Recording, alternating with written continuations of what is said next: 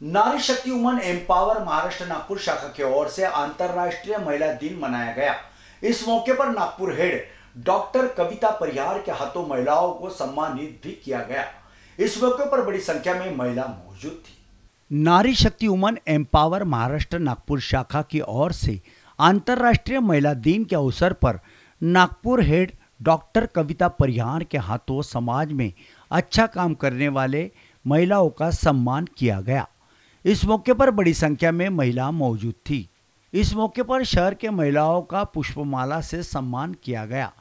समाज में अच्छा काम करने वाले डॉक्टर कविता परिहार का पुष्पमाला से महिलाओं ने सम्मान किया। साथ ही लखनऊ से उन्हें कोरियर से आए फ़िल्म फेयर सम्मान व शख्सियत ऐसे दो अवार्ड दिए गए। इस मौके पर नारी शक्ति वुमन एम्पावर की तमाम महिलाओं ने इन विषय समक्ष जानकारी दी। पूरे भारतवर्ष में अंतर्राष्ट्रीय महिला दिन जो है बड़े हर्षोल्लास के साथ मनाया जा रहा है। इस समय में नारी शक्ति वुमेन्स पावर एक ऐसी संस्था है जो पिछले कई वर्षों से बेहतरीन काम कर रही है। महिलाओं का जीवन संवर्धन इसी माध्यम से किया जाता है। इस संस्था की ओर से आज अंतर्राष्ट्रीय महिला दिन के अवसर पर शहर की कुछ ऐसी महिलाएँ जिन्होंने समाज के लिए अच्छा कामकाज किया है। उनका स्वागत समारोह सम्मान यहाँ किया जा रहा है। आइए हम सीधा रुक करेंगे बात करना चाहेंगे। इस समय हमारे साथ में कविता परिहार है उनसे जानना चाहेंगे। कविता मैम ये बताइए कि आज महिलाओं का जो एक विशेष दिन जो होता है क्या कहना चाहोगे इसके बारे में?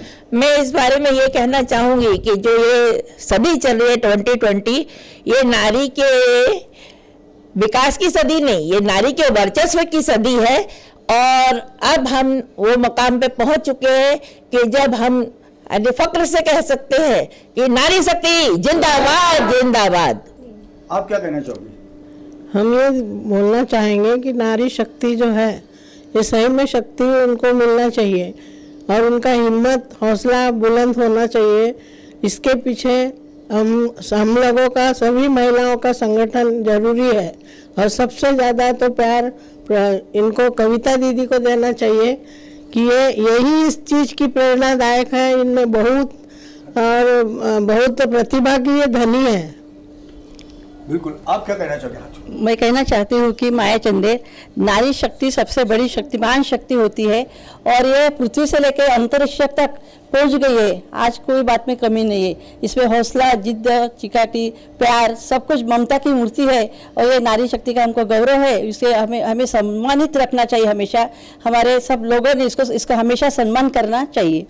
बिल्कुल तो इस तरह की इस तरह की जो बात है तमाम महिलाओं ने की है आ, इनके लिए हम यही कहना चाहेंगे कि अगर बनना है तो आप मेहंदी का वो पत्ता बनिएगा कोई पीपल का पत्ता मत बनिएगा क्योंकि पीपल के पत्ते और अन्य जो पत्ते होते हैं वो सूख के गिर जाते हैं।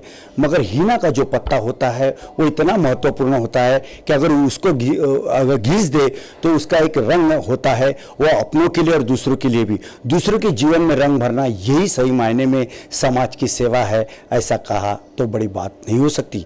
आज अंतर्राष्ट्रीय महिला दिन के अवसर पर इन विषय की ओर से तमाम तमाम ऐसे सामाजिक कार्य करने वाले उन तमाम महिलाओं को हम पूरे दर्शक सलाम करते हैं और उन्हें ढेर सारी शुभकामनाएँ देते हैं। कैमरा पर्सन वीरेंद्र के साथ Sanjay Mire IN B news Nagpur.